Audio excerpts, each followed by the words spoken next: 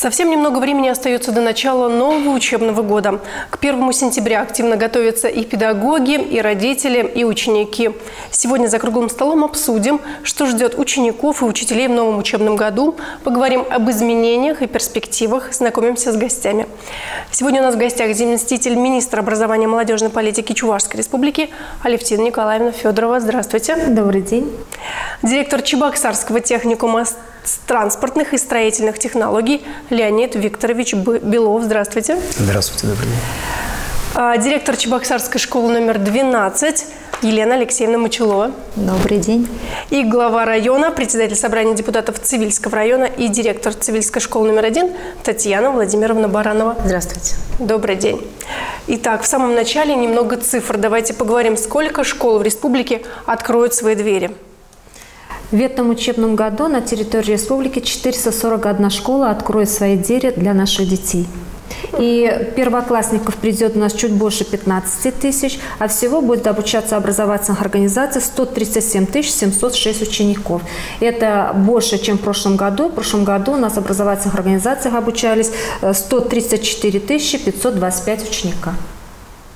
Хорошо. А как тогда школы республики, учебные заведения готовились к приему детей? Какой объем работы? Что было сделано? Какие-то новые классы, может быть, от открылись у нас? Из а, разных бюджетов Чувашской республики, из муниципальных бюджетов, из республиканского бюджета на ремонт образовательных организаций была выделена достаточно большая сумма денег. Это 845 миллионов рублей. А, данные средства были направлены на ремонты спортивных залов, на ремонты школ, а, капитальные ремонты, на приведение в порядок в образовательных организаций пожарной сигнализации, учебных кабинетов. И была создана межведомственная комиссия, которая проверяла образовательные организации к началу нового учебного года.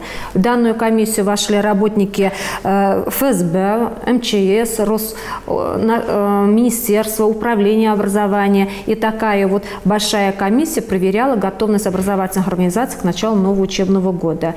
Э, те замечания, которые были, они они были устранены. И на сегодняшний день мы пока вот смело говорим о том, что школа готова к приему наших детей. Ну, я думаю, более подробно о подготовке учебных заведений расскажут сами руководители этих образовательных организаций. Ну, пожалуйста, кому слово, кто?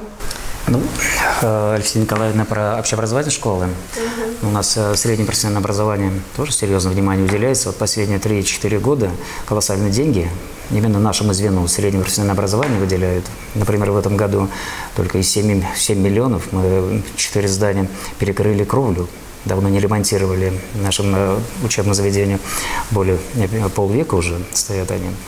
Дальше мебель. Обновили всех столовых пластиковые окна.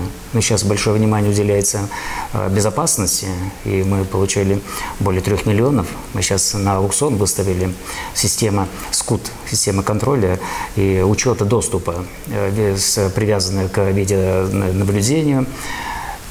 Ну, серьезно, колоссальная сейчас э, сумма выделяется на обеспечение благоприятных вот, условий, санитарно-гигиенических условий для обучения, для проживания детей. То есть студенты увидят э, разницу большую, да? За лето был проведен большой объем работы. Согласен. Э, вот мне бы хотелось еще и родителям посоветовать. У нас 27, 28, 29 вот родительское собрание обычно во всех техникумах. Пройтись по кабинетам, посмотреть и оценить.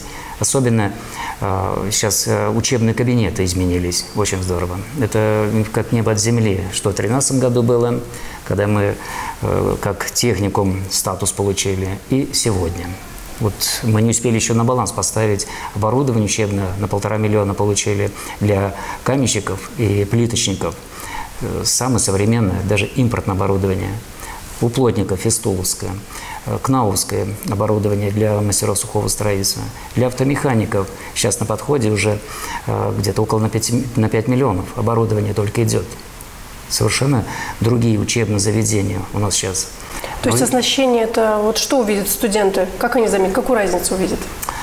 Это и практику можно там проходить, и теория, для теории все есть. И, и для теоретического обучения, и для э, практического обучения все есть любой техникум сегодня зайти. Вот Татьяна Владимировна не даст соврать, она глава Цивильского района э, собрания, да, и в курсе цивильском техникуме, сейчас там какой только оборудование, техники нет. Все привязано к ГЛОНАССу, э, трактора бегают, навесное оборудование, есть над чем обучать. И у нас тоже сейчас э, новая специальность мы сейчас вводим, э, набираем 25 человек в этом году, заочно 25, это монтаж и наладка электрооборудования. Вот на 2 миллиона сразу стенды мы закупаем. То есть мы нужны сегодня работодателям, и с учетом этого востребованности профессии сегодня министерство нас обеспечивает, с бюджета колоссальные деньги идут. Я думаю, отдача будет. И топ-50 – это востребованная профессия. В каждом техникуме сейчас мы нацелены обучать именно по этому э, перечню, перечню самых наиболее востребованных профессий. У нас э, 37% студентов обучается, а к 2020 году мы должны довести до 50% студентов, обучающихся по этим профессиям. Поэтому министерство и инвентаризацию профессий и специальностей провели.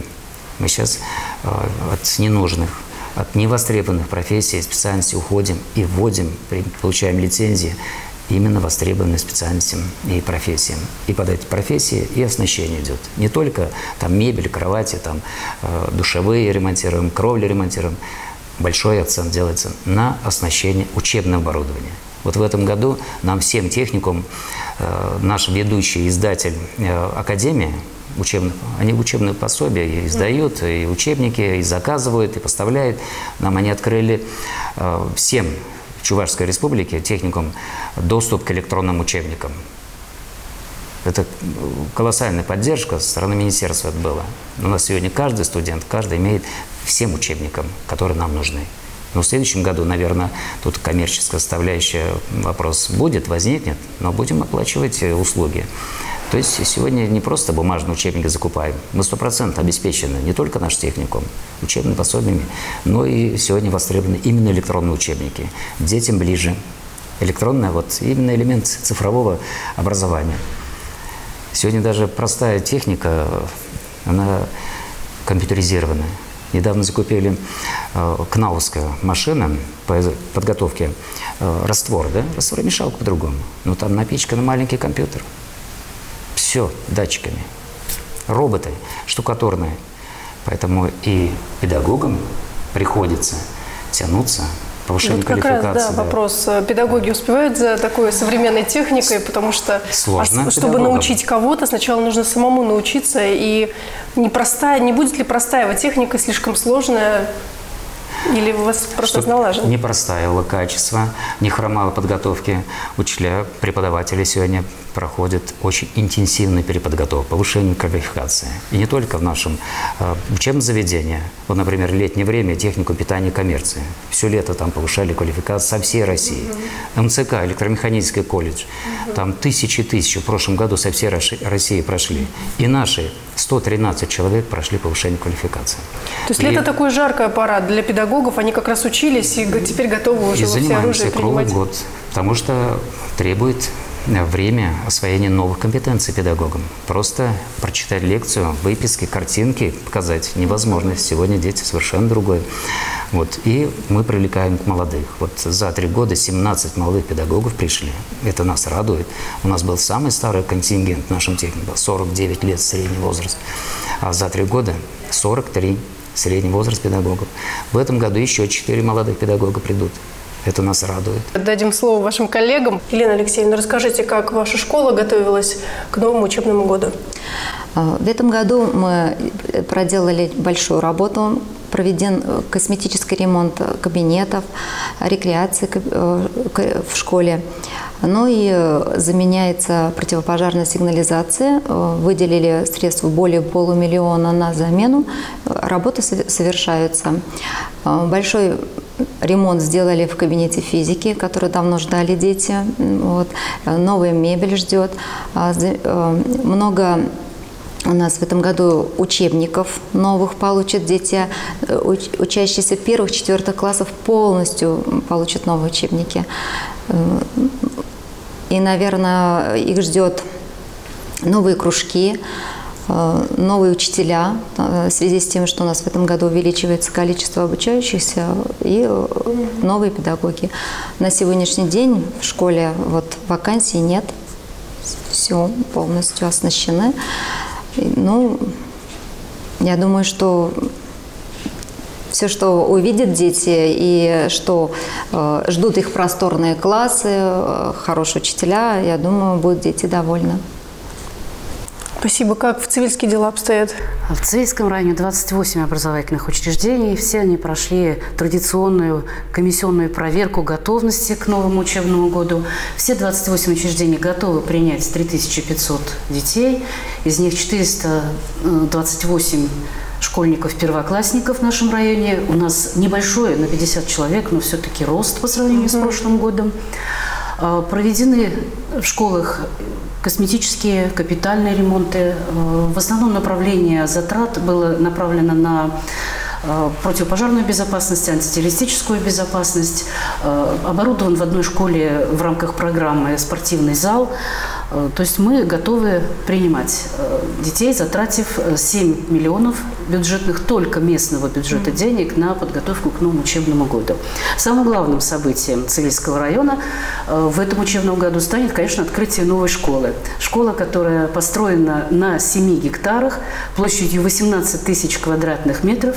Э, занятия начнутся в ней 1 сентября. На тысячу мест по проекту. Сегодня готовы тоже принять детей.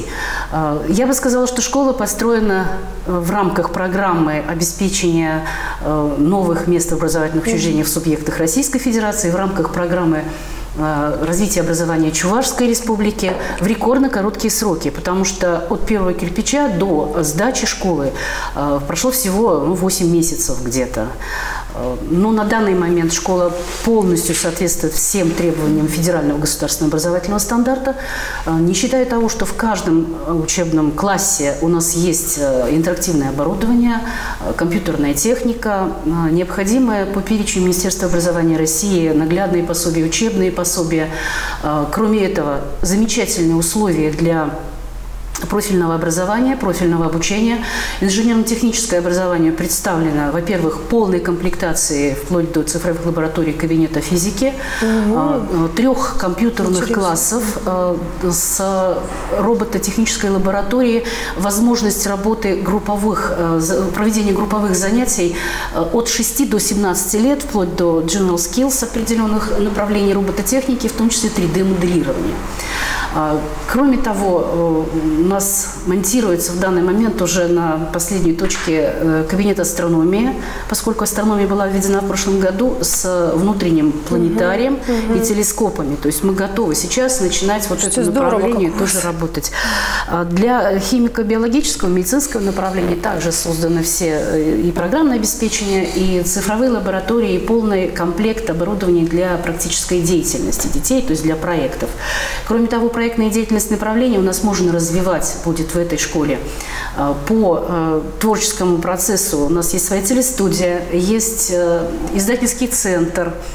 Мы готовы к музыкальному направлению, потому что у нас замечательный оборудованный актовый зал, кабинет музыки. Спортивное направление. Практически можно заниматься 14 видами спорта в школе, э, полностью обеспечены инвентарем для этого и местом проведения, и плюс хореография.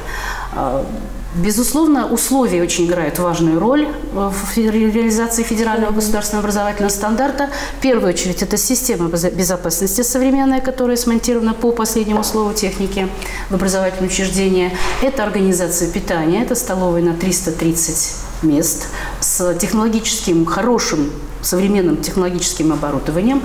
А, это, кроме того, значит, медицинский кабинет, который тоже оснащен, ну, по последнему слову, требований к медицинским школьным кабинетам. А, мы чуть больше тысячи детей на сегодняшний день у нас, потому что новый микрорайон развивается, а, желающие прийти в школу есть. Я думаю, что Э, школа оправдает вот те большие затраты, которые сделала Российская Федерация и правительство Чувашской Республики при поддержке. Это около 600 миллионов рублей проект вместе с дооснащением.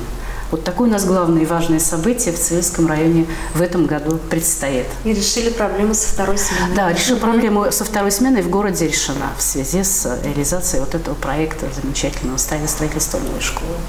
Ну, я думаю, что и родители с хорошим настроением, и дети нацелены уже учиться в новой школе только на пятерки, потому что это же влияет обязательно условия, в классы, что-то новое. Очень интересно у вас. Я думаю, что мы обязательно к вам приедем. И 1 сентября пусть у вас будет большой праздник тогда как и в остальных учебных заведениях, конечно.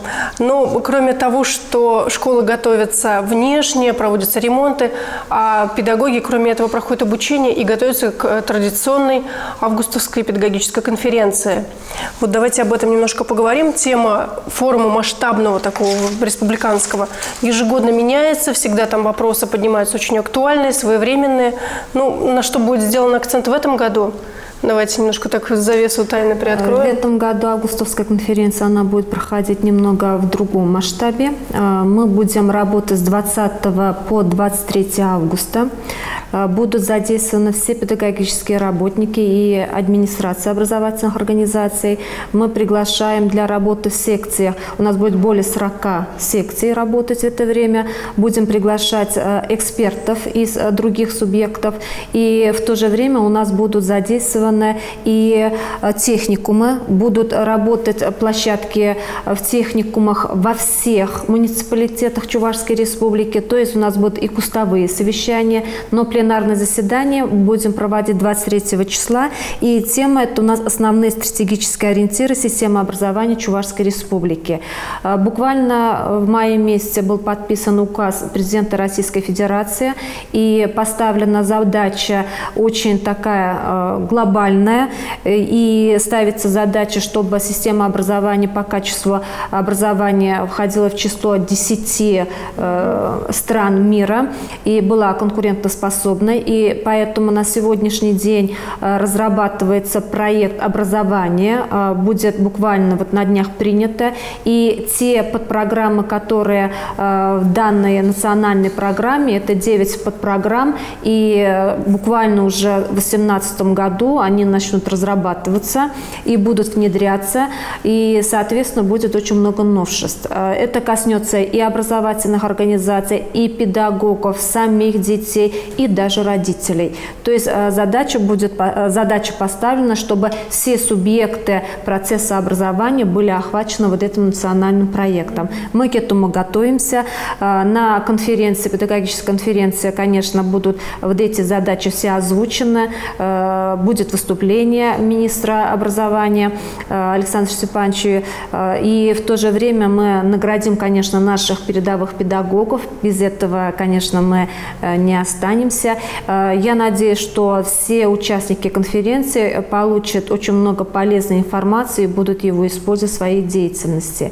И, конечно, конференции будут и на уровне муниципалитетов. Те задачи, которые мы поставим на республиканском уровне, они обязательно будут рассмотрены и на муниципальном уровне. Э, конечно, для каждого педагога, для директора, э, для заведующих детских садов это событие, потому что основные направления, тенденции, э, задачи, они именно получают на данном мероприятии. Ну вот давайте спросим, как принимаете участие в конференциях августовских? Расскажите, вот это опыт, это обмен мнениями, это встреча, это такая ежегодная традиция, мне кажется, очень добрая, когда на новый учебный год настрой получают встречают именно все вот педагоги республики? Встречаются они со всеми своими коллегами, опытом делятся. Это очень интересно. Но в связи с тем, что еще дети с ограниченными возможностями здоровья к нам поступают, э, обучение проходит накануне вот этих как раз есть и обучение курсы проходят учителя. Практически весь коллектив должен это пройти. Вот, я думаю, что эти конференции очень нужны и готовит нас к 1 сентября. Ну, вот, э, тема этого года, это прям вот очень серьезная, да, масштабная. Вот расскажите, с какими мыслями идете туда? мыслями тем, что новые наставления получим, во-первых, новые программы, они дадут нам возможность э, ставить другие цели, цели, которые на, на последующие годы, как нам направление нам дадут. Думаю, что Потому что нам нужно войти в десятку, это Десят... такая амбициозная, да, это очень, очень э, действительно цель, да, и да. работы будет очень много. Вот э, как тоже наверняка в каждый год выезжаете, приезжаете. Конечно. Я хочу сказать, что наше Министерство образования Чувашской Республики, оно очень актуальные вопросы всегда угу. берет для обсуждения э, вот этого хорошего знаменательного форума, ежегодного угу. форума педагогов. Э, всегда меняет формат, э, форму проведения для того, чтобы как можно больше педагогов могли прочувствовать вот эти глобальные задачи, которые ставятся фактически перед всеми. Не только перед руководителями образования разных уровней, но еще и перед каждым педагогом, который на своем месте как раз и реализует все эти программы. Вот я считаю, что наши педагоги, они э, очень с удовольствием принимают участие в таких мероприятиях, которые мы с Вискером всегда активно участвуем. Мы и сами принимаем, когда нам доверяют, конечно, э, какие-то форумы, то есть определенные секции э, вот этих совещаний наших республиканских. И самое главное, что они очень сильно мотивируют и дают ну, импульс для дальнейшей работы, продуктивной, конструктивной работы. Ну и понятно, что на результат который угу. отражается на наших детях, на результатах образования Чувашской республики в целом. Ну, мне кажется, за последние годы именно вот эта педконференция она претерпела такие изменения, стала обширнее. Несколько дней, во-первых, проводятся, и было несколько секций. В прошлом году было очень масштабно. Мы делали даже серию репортажей. Вот как у вас впечатление? Вот Алексей Николаевна уже сказала, три дня будет у нас да. продолжаться работа. У нас э, одна из секционных площадок на нашей базе. Это 22-го. Угу. Но тему мы выбрали э, профориентацию. Это самоопределение обучающихся. А сколько вы Два планируете года. охватить педагогов вот э, на этой площадке? Сколько? Где-то 150 смогут? человек у нас вместимость. Мы угу. программу разработали, выступающие у нас очень интересные люди. Директор Акванториума. Это очень современный инновационный такой центр профориентационной работы. Мехатроник, электроника, информатика – это самая популярная профессия. Вот там, побывав, послушав директора, э, приведя туда детей на эту базу, можно определить, кто будет там заниматься это по той или иной профессии. Дальше мы пригласили Центр занятости, казенное учреждение, которое подчиняется Минтруду. Э, пригласили руководство 40 школы, ну, с кем мы взаимодействуем. Ну и наши преподаватели, педагоги поделятся опытом Потому что из таких школ, вот хорошая Татьяна Владимировна, из вашей школы, из вашей школы, Елена Сондровна, у нас 50% э, выпускников 9 класса, они же к нам придут. Это у нас э, было 50, 56, вот так. Ну, я думаю, в этом году тоже половина девятиклассников. Но есть еще дети, которые после 11 класса, ну, у кого-то по баллам не прошли, они тоже к нам придут. И нам важно, чтобы дети с помощью учителей и родителей правильно свою судьбу, профессию выбрали. И мы хотим преподавателям показать положительный опыт, как помочь молодому человеку найти себя именно в профессии. Ведь нелюбимая профессия – это несчастье на всю жизнь, а переобучение, оно всегда связано определенными трудностями. Это тяжело. Надо все делать вовремя. Молодые годы учиться, потом уже трудиться и повышать свои компетенции. Поэтому тема, я считаю, наши угу. секционные площадки актуальны. Я всех педагогов приглашаю к нам 22-го. Мы вас всех ждем. Хорошо, какие еще площадки, какие базы будут задействованы? У нас все техникумы будут площадками. У нас площадками будут э, самая, наверное, большая площадка, где будут множество секций. Это Институт образования, повышения mm-hmm. квалификации у нас, да. Это у нас и учреждение доп. образования. Везде модераторами будут выступать сами руководители. И выступающими мы приглашаем именно практиков. То есть э, в этом году формат будет таким, не лекции будут читать, не э, скажем, не наставления давать, а каждый будет конкретно делиться опытом, рассказывать, как это можно использовать. То есть это еще и попробовать да, можно это, будет. Да, каждый может высказать свое мнение. И задача у нас поставлена, чтобы те предложения, которые будут э, поступать от коллег на этих секциях, мы их будем в дальнейшем обязательно использовать. Не просто так поговорили и разошлись. Вот, да. Поэтому задача поставлена, чтобы все вот эти вот предложения страны участников, э, работников вот этих этих секций мы приняли, проанализировали и их внедрили. А материалы педконференции потом во что-то На сегодняшний выливаются? день на сайте Министерства образования есть баннер, где уже угу. в электронном формате размещаются площадки, кто там будет выступать. Обязательно потом все это и в электронном формате, и в виде брошюрок мы направим в сплите. Обращаетесь ли вы вот таким вот баннером на сайте, как часто бываете? То есть э, собирается колоссальный педагогический опыт. Я знаю, да. что наши педагоги очень любят э, находить какие-то новые формы работы с детьми. Вот просто э, есть ли доступ ко всем вот этим вот материалам потом? Есть, конечно. Вы пользуетесь? Пользуюсь. Пользуемся. Очень активно. Мы прервемся на небольшую рекламную паузу, после нее продолжим. Ну,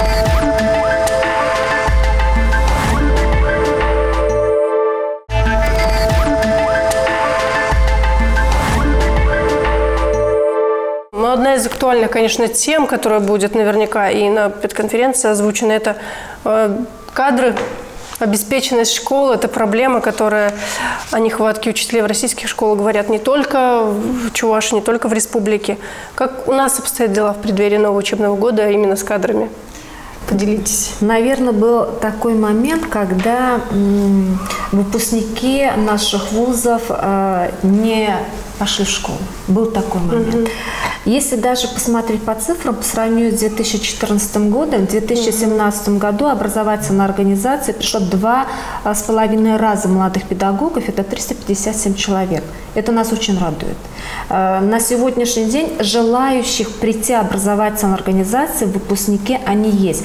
Даже вот мы говорим о электронных вот этих вот, э, да, цифровых ресурсах, даже на сайте и управления образованием города Чебоксара, на сайте Института образования есть баннер, кадры. Там указаны все образовательные организации, где имеются вакансии, какие специальности, какие, какое количество часов и какие там имеются льготы. Э, Чувашский государственный педагогический университет в прошлом году осенью запустил очень интересный портал. Это карта размещения вакансий. На данной карте показаны школы, какие специалисты там требуются, какое количество часов и какие условия они предлагают. И поэтому на сегодняшний день любой выпускник может посмотреть этот электронный портал или баннеры, которые у нас есть, и получить информацию. На самом деле э, таких вот проблем нет. Э, Конечно, по старинке некоторые звонят прямо в управление образования, звонят образовательные организации, к нам в министерство, просят э, разъяснить, объяснить, подсказать, где можно найти работу. На самом деле вот эти электронные ресурсы, они нам очень хорошо помогают. Даже на сайтах образовательных организаций есть бегущая строка, э, какие, соответственно, педагоги требуются. Конечно, это у нас более проблемный вопрос, это учителя математики, физики. В связи с тем, что растет количество первоклассников – это учителя начальных классов, но а, образовательные организации решают эти вопросы. А, Есть у нас руководители, которые своих имеющихся педагогов переквалифицируют. Например, в сельской местности происходит уменьшение количества детей и количества часов. И, соответственно, педагоги у нас на сегодняшний день становятся многопрофильными. И образова... высшие учебные заведения сейчас выпускают специалистов, стараются выпускать специалистов не одной Специальности, направленности, да. например, учитель химии, Специализация. биологии, специализации, например, учитель истории обществознания, учитель э, русского языка, английского языка, поэтому культурология, же, да, вот на сегодняшний день мы все э, хотим, чтобы наши выпускники пришли в школу. Вот такая задача поставлена. И э, руководители образовательных организаций к себе приглашают на стажировку выпускников, э, студентов э, Чувашского государ- государственного педагогического университета с третьего курса. У нас и такая практика есть. Э, в то же время, когда приходят на практику, ведут работу с этими педагогами, и молодой педагог, который приходит в школу, на сегодняшний день не остается один один с учениками, сам собой, да, э, созданы условия по наставничеству. Педагоги, которые имеют там, хороший опыт работы, они сопровождают этих молодых педагогов, и, э, да, конечно, и администрация школы делает все, чтобы они остались в школе. Вот у вас, говорите, проблем с кадрами нет по всему району? Или все-таки есть? Проблемы с кадрами есть. И они, в общем, в общей тенденции Да, находятся. У нас на данный момент в районе не хватает учителей начальных классов, как Александра Николаевна сказала, и учителей иностранного, ну, в частности, английского языка. А, Это уже многолетняя проблема. Мы, удается нам, директорам школы, э, школы района, решать этот вопрос где-то за счет совмещения, где-то за счет э, каких-то других ресурсов, возможно, да. Но А, тем не менее, проблема, она существует. Я думаю, что э, везде. Э, в Цивильском районе продумана система мотивации, система стимулирования молодых специалистов, и у нас уже не первый год э, действуют следующие. То есть имеет, молодые специалисты в районе имеют следующие возможности. Во-первых, это двойной оклад при поступлении на работу в течение трех лет, независимо от категорий. А, то есть молодой специалист может получать заработную плату вот на первом этапе своей профессиональной деятельности в течение трех лет на уровне учителя высшей категории с хорошим стажем и с хорошей нагрузкой. Но за три года он должен будет показать каким-то образом уже свой рост, небольшую долю профессионализма для того, чтобы получить категорию и то есть обеспечить тот же уровень зарплаты уже своими достижениями, достижениями своих детей. А, хочу сказать, что не очень быстро, как нам хотелось бы, не в том объеме, но все-таки это играет роль, и поэтому в этом году молодых специалистов у нас будет больше, чем в прошлом году. В частности, в нашей школе мы принимаем 7 молодых учителей. Часть из них – это те, кто прошли переподготовку, из них 4 молодых специалиста. То есть вот возможности у нас уже есть. Ну, надеюсь, что если педагогический университет, э, мы сотрудничаем с этим университетом, мы посещаем все ярмарки вакансий всегда, район, мы стараемся привлечь молодых людей. Думаю, что если университет с нами дальше будет так сотрудничать, наш педагогический, то, наверное, когда-то проблема с кадрами должна будет решаться в том числе в нашем районе. Спасибо. Леонид Викторович, вы уже немножко раскрыли нам карты, как у вас там дела с кадрами обстоят. Вот давайте более подробно об этом поговорим теперь. Вообще образовательной дисциплины у нас нет проблемы, потому что мы тут рядом с пединститутом, мы очень тоже тесно сотрудничаем, и лучшие э, выпускники к нам приходят. Я могу это подтвердить. Э, у нас э, стипендиаты и президенты Путина работают, э, и другие хорошие специалисты приходят. И наставничество колоссальный эффект дает. У нас создан клуб молодых педагогов, и Жаркова Надежда Ильинична, у нас такой очень талантливый ветеран педагогического труда, и она опекает. Для них она и методист, и мама, и администратор, и на уроки ходит, и э, статьи пишут в газетах. И мы сохранили и сохраняем молодых. Первый год для молодых это очень сложно, вот коллеги подтвердят. Это адаптация, социализация. Э, другой ритм жизни, дети еще. Э, тут у нас как раз подростковый возраст, студенты. Сложно. Но помогаем. Э, и клуб молодых педагогов – это очень хорошая, эффективная, результативная работа. Помогает нам. Ну, а по предметам спецдисциплины тут есть, конечно, конечно сложности. Мы, нам приходится совместителей сельхозакадемии привлекать. У нас пять человек доцентов у нас работают. Ну и контингент большой у нас, и часов много, три корпуса в трех учебных корпусах, э, СМАДИ и Чебоксарский политехнический институт. Потому что э, сложнейшие дисциплины, спецдисциплины, лучше, качественно преподают. Но мы решили кадры готовить из своих выпускников. В прошлом году у нас, в этом учебном году закончил один студент, он получал в течение года, в соответствии с постановлением, каждый месяц по 10 тысяч, подписав договор с министерством, что он вернется к нам на работу. В этом году сейчас еще пять человек отобрали самых лучших э, студентов из выпускного курса. Это два автомеханика, я так упрощенно называю, два прораба и два техника по дорожному строительству. Они сказали, Леонид Ильич, пожалуйста, нас заявите, мы готовы подписать договор, платите нам 10 тысяч ежемесячно на последнем курсе, и мы вернемся работать. Я думаю, это серьезная поддержка стороны правительства, подготовки угу. преподавателей спецдисциплин. Лучше готовить из своих. Это мое личное мнение. Со стороны э, пришедшие они из своей корпоративной культуры, своей традиции, своей привычки. И им очень сложно к нашему коллективно привыкнуть. Поэтому, я думаю, в ближайшее время преподавателями спецдисциплин мы проблем решим. Желающих работать преподавателем наши, среди наших выпускников достаточно много. И хорошие, талантливые. И стипендиаты главы. Их у нас сегодня 23 человека получают. Заслуженно получают. И вообще в технику мы сейчас идут хорошие ребята. Смотришь, средний балл там чуть ли не 5. Конкурс. Э, в некоторых техниках у нас уже по 5, по 6 мест на бюджетные места. Перспектива, э, то есть проблема решается, пути решения, это проблема, кадровые проблемы найдены. И благодаря Министерству, правительству и поддержка молодых педагогов. Вот э, в школах два оклада, но мы полоклада доплачиваем в течение трех лет.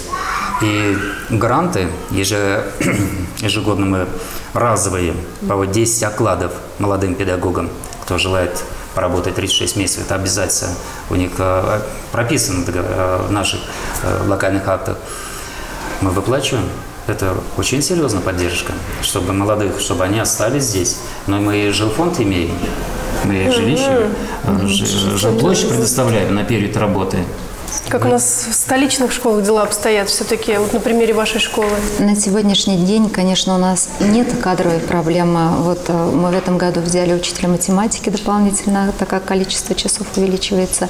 Многие учителя прошли переподготовку филологии, э, так как русский язык и литература востребованы уже тоже с увеличением количества педагогов.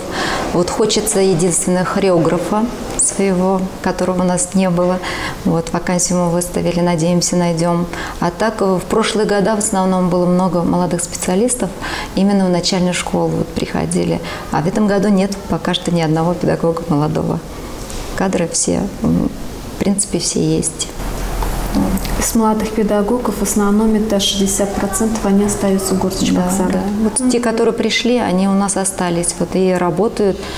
Третий год многие, кто-то уже перерос э, стали сами уже опытными. Вот это первые годы, вот буквально два года назад была востребованность молодыми специалистами. Мы, наша школа выросла практически в два раза. Когда я пришла, только было где-то 340 детей, а сейчас 750 детей у нас. Поэтому в два раза увеличились количество учителей и учащихся. Надеемся. Угу. А в целом по республике есть какие-то такие прям вот очень проблемные школы, где вот прям совсем не хотят идти и не хватает? Ну, вот может быть, обратиться, может быть, услышат, увидят сегодня? На сегодняшний знаете? день, конечно, муниципалитеты, где есть э, определенные вопросы по кадрам, они э, заключают договора с выпускниками, они создают условия и по целевому обучению, рассматривают и стипендии. У нас есть муниципалитеты, которые и предоставляют жилье. Этот вариант тоже рассматривают рассматривается. Но, конечно, говорит о том, что проблем нет, мы не можем.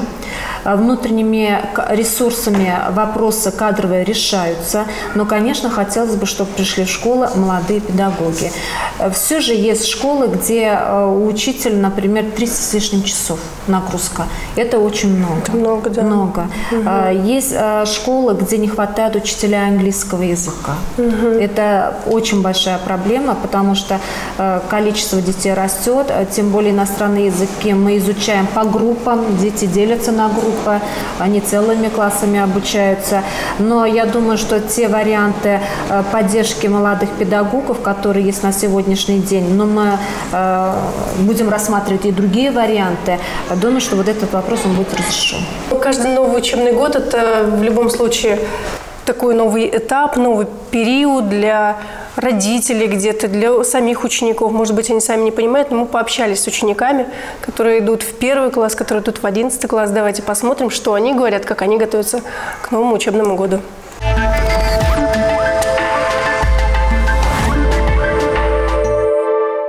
Пытаюсь морально настроить себя, что нужно уже учиться серьезно, готовиться к экзаменам, так как ОГЭ было не такое страшное, ЕГЭ впереди немного страшно. С мыслями я, конечно, иду хорошими, настрой у меня бодрый. Когда я была в первом классе, это было более, более подготовлено, то есть я переживала, мы думали, что мы купим, какую блузку, как я буду выглядеть, как это будет все смотреться.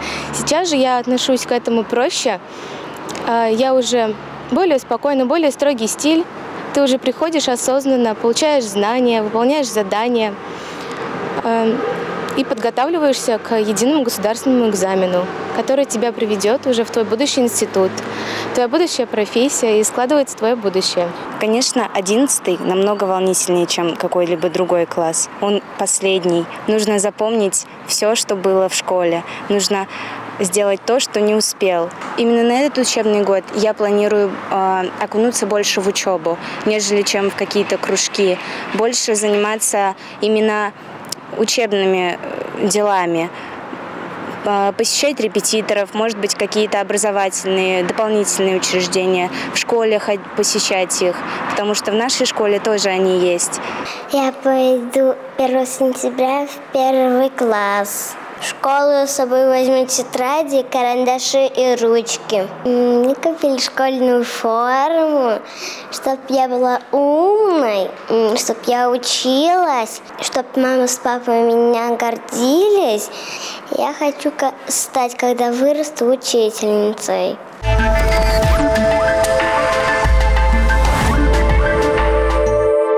И что же советуют психологи? Мы тоже э, сходили и узнали несколько советов от э, психолога. Сейчас тоже послушаем.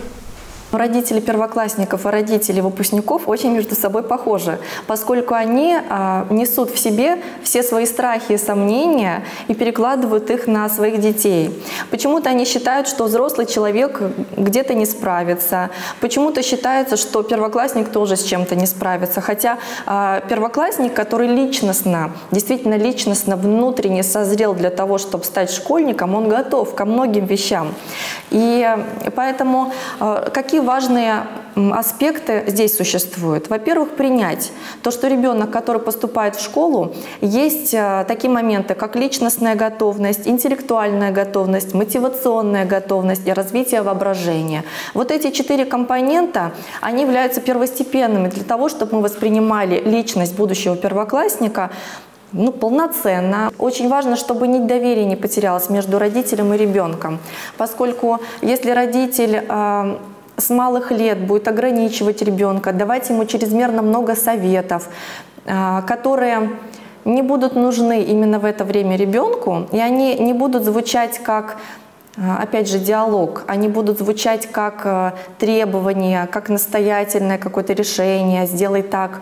А, тогда ребенок, конечно, не, не будет считать нужным подойти к родителю. А, существует общероссийский телефон доверия 8 800 2122. Ни один звонок не остается без ответа.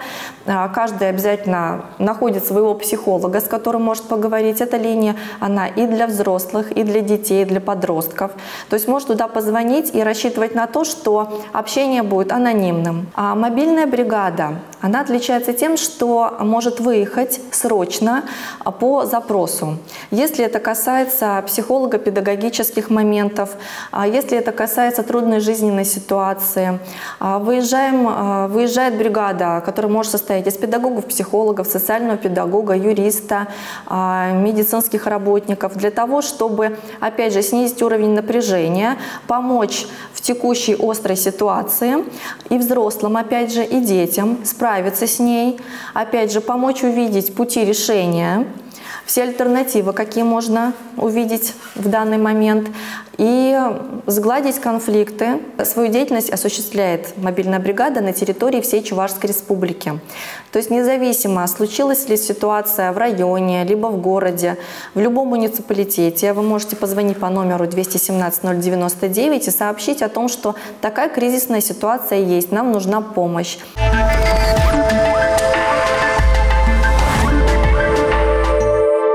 В сюжете мы увидели о том, что работает в республике у нас мобильная бригада помощи. Вот расскажите немножко о ней подробнее, потому что как давно она существует, как она, кому она помогает?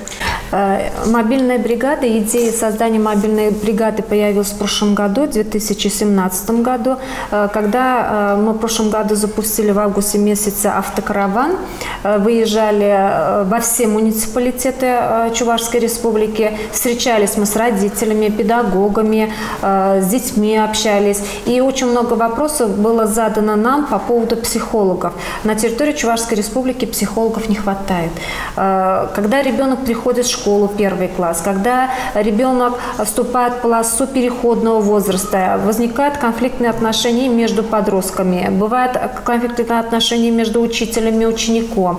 Э, очень часто э, возникают конфликты между родителями и детьми, и было принято решение создать мобильную группу. В мобильную группу входят у нас психологи, психиатры, медицинские работники. И если есть обращение стороны родителей, детей, педагогов, мобильная группа выезжает выезжает во все муниципалитеты. Мы готовы оказать помощь и в конфликтных отношениях, которые возникают между родителями, детьми, учениками, учениками, родителями. Мы готовы им помочь, если мы получаем такой звонок, а, получаем приглашение. Угу. Таких выездов в течение года было достаточно много и рассматривали различные вопросы.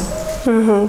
Ну, нужен ли вот такой вот и и мобильная бригада, и мобильный телефон вот э, с помощи, да, психологической, о котором мы говорили. Вот как вы чувствуете по своим ученикам? Все равно же видите, как Нужно. идет взаимодействие. Нужно, потому что не все дети доверяются своим родителям или педагогам, или расскажут.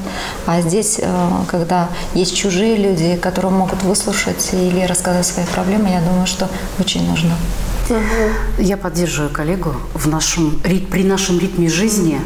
Личностное общение, оно сейчас будет играть значительную роль. Почему? Э, потому что есть возможность ребенку еще где-то высказаться в социальных сетях, а это не всегда безопасно. И для того, чтобы наши дети имели возможность пообщаться с хорошими профессионалами, я считаю, что вот такая практика автокараванов, э, ну, с привлечением и наших тоже психологов, которые могут, э, знают детей, она будет очень продуктивное, скорее всего. И именно, повторяю, личностное общение, а не возможность э, каких-то других э, выходов из создавшихся ситуаций, которые у детей бывают ну, практически повседневно, потому что все-таки социализация, она проблемная бывает иногда в наших коллективах. А психологи вообще в школе есть? Вот такие живые люди, к да, которым можно подойти? Есть. есть. Сейчас Тоже есть, дополнительно да? уже в этом году мы э, ставку увеличиваем в связи угу. с увеличением количества обучающихся, увеличиваем ставку тоже. Дети иногда хотят пообщаться с посторонним человеком, хотят свои, да, хотят рассказать свои проблемы не тому человеку, который рядом всегда, да, может стесняется, может хочет скрыть информацию, и поэтому и есть такие случаи, когда э, ученик расскажет свои проблемы постороннему человеку, угу. другому психологу. Поэтому и было принято такое решение. А в техникумах тоже есть такая служба, или это надобности психологи, нет уже, потому что... Психологи, наверное, в любом старше. возрасте нужны, и всем нужно. И не только в школе, в садике. Вот, например, у нас 500 человек сейчас придут из обычной угу. своей школы, где они 16 лет прожили населенном. Им нужно пройти процесс семьи, адаптации, да? Да. И они в чужой коллектив, в чужой город, в чужой коллектив попадают. Тут обязательно помощь нужна. И к нам техникум, ведь подростки приходят. Это самый, я считаю, это самый сложный возраст подростковый, когда идет формирование характера человека, самоутверждение. Вот здесь психолог нужен. Обязательно. У нас только в штате один психолог, но в этом году второй психолог у нас мы будем искать специалиста второго.